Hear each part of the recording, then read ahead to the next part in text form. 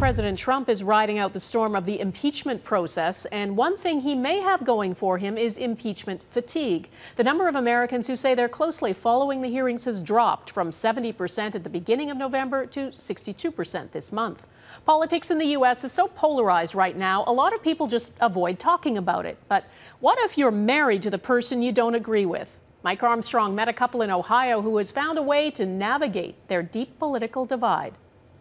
You know, I, I do try to step back. This is something Kim Watson tries to avoid. Following politics too closely, like watching hearings, tends to get her a little worked up. I mean, I do feel like a lot of the Republicans are just, it's just, they don't want to hear it.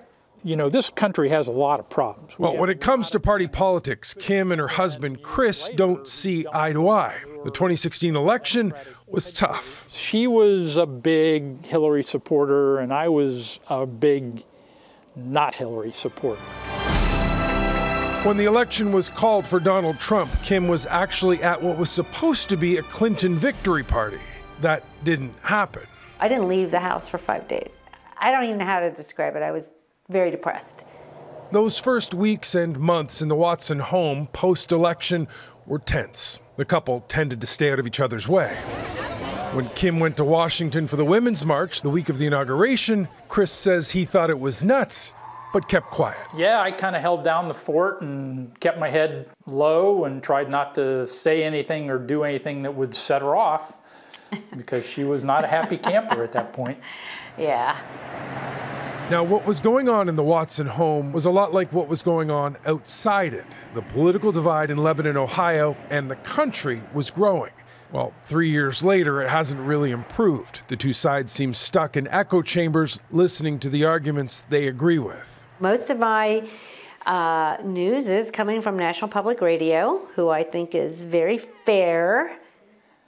Oh, you know, it pisses me off when I listen to it, you know, because I just don't think they're giving the conservative side a chance. The Watsons have been able to keep things together. They just tend to work in different rooms and listen to different radio stations. But they say they know families and friendships that have been ripped apart since the election. A recent poll found a majority of Americans now avoid talking politics with people who don't share their views. Conversations now are more careful than they used to be. You almost try not to talk about it if you're unsure where that other person's coming from. I mean, that's usually the safest path. You just don't talk about it. Yeah.